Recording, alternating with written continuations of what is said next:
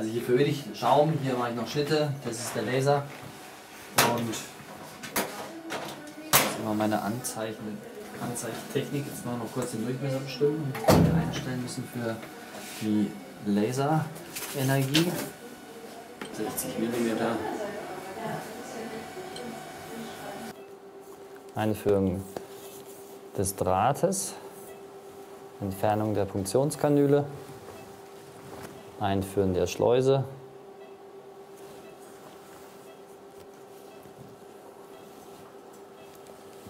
Entfernen des Drahtes vorsichtig, den Draht immer festhalten. Wenn es nicht passiert, man sieht, es, man ist in der Vene drin. Entfernen des Dilatators. Da ist eine Membran auf der Schleuse, deswegen ist jetzt kommt kein Blut.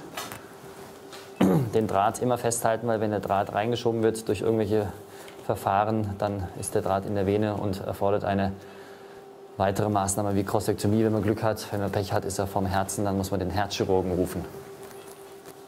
Abmessen der Länge des Katheters. Also wir haben hier eine Two-Ring, Zwei-Ring-Lasersonde mit zwei Abstrahlungsringen, die jeweils die Laserenergie um 180 Grad seitlich abgeben. Man sieht es, dass keine Laserenergie nach vorne abgegeben wird, sondern nach seitlich zwei Abstrahlungsringe, einer und der zweite. Und das bedeutet, dass die Laserenergie, wenn jetzt 70 äh, Joule eingestellt sind zum Beispiel, jeweils 35 Joule auf jeden Ring kommen, damit eine schonendere Behandlung der Vene erfolgen kann. So, diese Lasersonde führt man jetzt in die Schleuse ein. Und ungefähr bis dahin, wo man vorher abgemessen hat, führt man sie ein. Dann nimmt man den Ultraschall, stellt sich die Krosse gut ein und dann sieht man schön im Ultraschallbild, wie die Sonde in der Krosse zu sehen ist.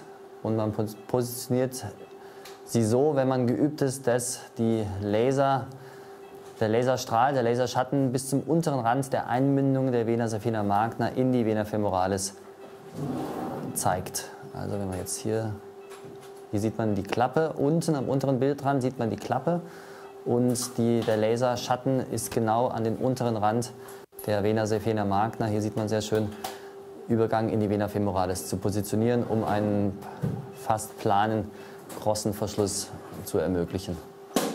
Wenn man nicht so geübt ist, sollte man den Laser bis zum unteren Rand der Epigastrika vorschieben. Das wäre dann hier. Man sieht hier schön die Venenklappe. Und wenn man geübter ist, kann man den vorschieben bis zur Einmündung in das tiefe Venensystem, also bis genau zur saphenofemoralen Junktion. So, wir haben die zweite Vene oben, bevor wir die Tumeszenz einspritzen, eine zweite Punktion.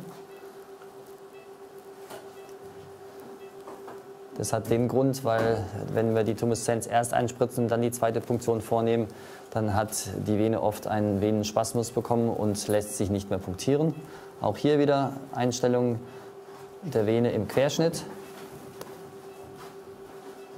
Funktion der Vene, Funktion ähm, Einstechen der Nadel in der Mitte des Schallkopfs vorschieben. Dann sieht man sofort die Nadel kommen und ist in der Vene drin.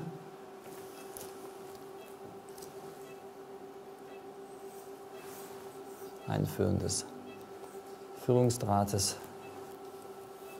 Entfernen der Nadel. Und so hat man jetzt die Funktion schon ermöglicht. Man muss nicht eine zweite Schleuse aufmachen. Jetzt kann man erst die Vena saphina magna behandeln und im Anschluss liegt, ist schon die Venenfunktion erfolgt und der Draht liegt und über diesen Draht kann dann die Schleuse, die wieder gewonnen wird, wenn die Vene behandelt, die vorige Vene behandelt wurde, kann mit der Schleuse dann die Vene wieder, der Zugang zur Vene erfolgen. Jetzt einspritzen der Tumeszenz. Ist der Patient nicht in Narkose, gebe ich immer erst einen Bolus im Krossenbereich. Zuerst dort eine ausreichende Analgesierung zu gewährleisten. Wenn man sehr schnell die Tumeszenz einspritzt, habe ich die Erfahrung gemacht, dass es angenehmer, es besser ist, man hat oben schon mal eine, die erste Betäubung gesetzt, weil man dann von distal nach proximal die weiteren die weitere Tumeszenz einspritzt. Wenn das sehr schnell erfolgt, dann kann es sein, dass es oben noch nicht ausreichend betäubt ist und der Patient noch etwas merken würde. Jetzt wird die Tumeszenz von distal nach proximal eingespritzt, immer in die Faszienloge, um die Vene herum. Wenn man die Faszienloge trifft, sieht man sehr schön im Ultraschall jetzt, dass sich das aufbläht um die Vene herum, obwohl ich nur eine Punktion vorgenommen habe. Ich muss nicht links und rechts um die Vene herum Spritzen geben, Ultraschall hoch und sehe, bis wohin die Tumeszenz gekommen ist, also bis hier. Und hier mache ich meine nächste Punktion, also alle 7 bis 10 cm muss ich dann nur einstechen. Sieht sehr schön, wie sich die Tumeszenz in der Faszienloge verteilt, um die Vene herum, perivaskulär. So, bis hier ist die Tumeszenz, hier nicht mehr, also alle 10 cm jetzt. Möglichst darauf achten, dass man die Vene nicht perforiert, sonst gibt es Hämatome. Ausreichend Tumeszenz einspritzen, um eine gute Analgesierung zu gewährleisten und ähm, Nervenverletzung zu vermeiden. Es muss jedoch nicht übermäßig viel Tumeszenz gespritzt werden. Für eine Stammvene in der Länge benötige ich ungefähr 400 Milliliter Tumeszenz Lokalanästhesie. Wenn ich in Vollnarkose arbeite, ähm, benutze ich Tumeszenz Lokalanästhesie, weil nach der OP dann noch der behandelte Webenkanal ähm, anästhesiert ist und es angenehmer für den Patienten oft ist.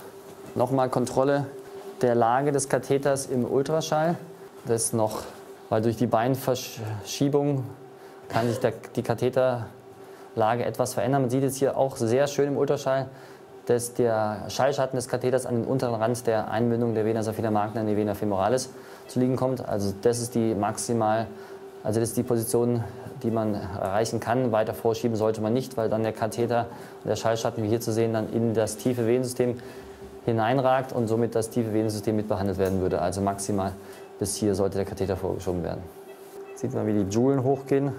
Am Laserdisplay sieht man die Voreinstellung, ähm, vorheriges Abmessen des Durchmessers der Vene mal 7 dann aufgerundet.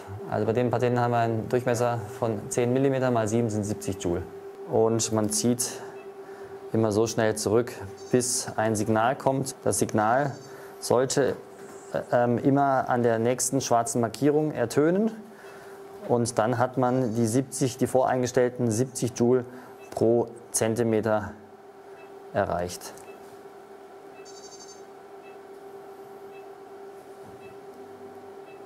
Ein langsames Zurückziehen. So, so wird es jetzt Zentimeter für Zentimeter zurückgezogen.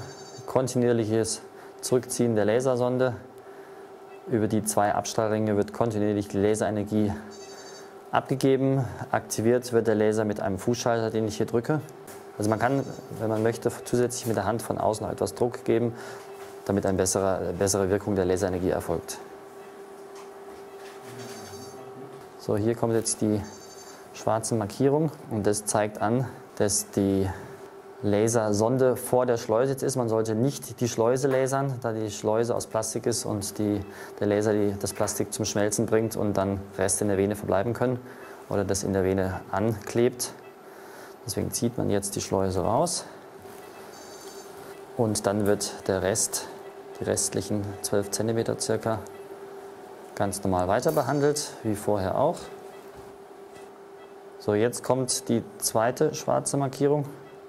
Das bedeutet, drei Zentimeter bis zur Sonnenspitze vorhanden sind. Da, unter, das jetzt die Behandlung ist jetzt beendet und man entfernt die Sonde.